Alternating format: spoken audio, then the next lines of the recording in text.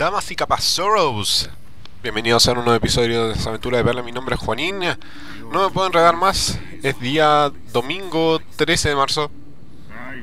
Da- Y esto lo hice hace un poco tiempo. Fui con mis amigos personales Anita y Tomás, nombrados. Bueno, en realidad no les voy a decir los nombres para que no los persigan. Eh, pero estamos con la hermandad Pilsen Friends en Dracari, una hermandad de Chile. Eh, bastante choros ellos tengo que decirlo.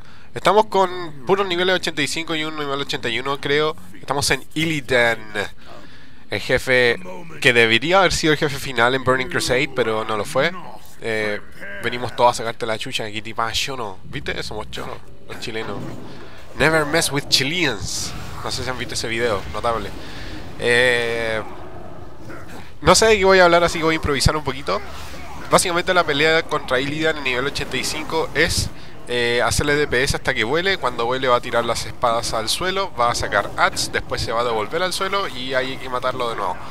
Y sería absolutamente todo. Bueno, ahí ya le bajamos un buen montón.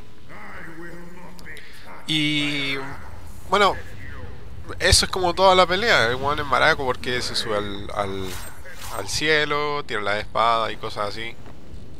Mucha gente viene para acá buscando las espadas de Asinoth, que son para guerrero y pícaro, pero no mucha gente las obtiene.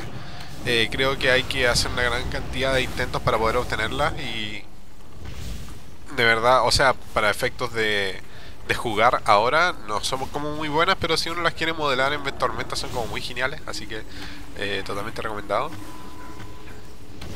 Eh, pero sí, y esto es un ejemplo de mala implementación de un jefe que podría haber sido muy muy genial y que podría haber sido el jefe final de Burning Crusade si no hubieran tenido otra posición al respecto. Digo, porque los tipos de Blizzard aprendieron esto sobre los jefes finales con Lich King.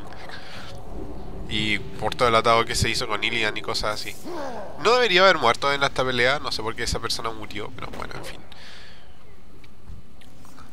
La historia que envuelve a Illidan, porque no mucha gente como que se da cuenta de eso, la historia que envuelve a Illidan es bastante interesante y se remonta a la expansión de Warcraft 3 que se llama El Trono de Hielo.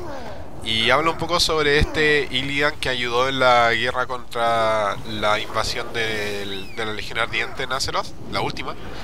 Eh, y que después se escapa. Y hay una tipa que está obsesionada con tenerlo preso, digamos, con tenerlo enjaulado, que es el personaje que vamos a ver en un momento más, que es Mayev. Entonces, eh, la serie de misiones de leveleo aún de 68 a 70, me parece, en eh, Valles eh, Sombra Luna, me parece que se llama, Shalom Valley, sí. Eh, ahí se desenvuelve un poco sobre cómo nosotros eh, vemos a Mayev ahora que es la, la que está capturada por Illidan y tenemos que rescatarla para que pueda apresar a Illidan de nuevo. Y aquí la vemos, ayudando también a un poco a, a este Draenei, que no me acuerdo cómo se llamaba. Pero también es muy interesante como personaje. El, tema es que Mayev desaparece para siempre jamás. Y eh, no muere, pero no sabemos para dónde se va. En realidad es bien raro.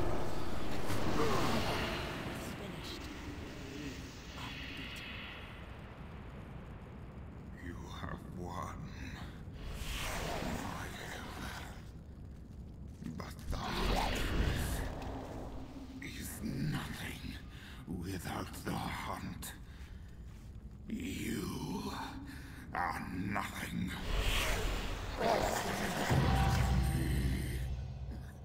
He is right. I feel nothing. I am nothing.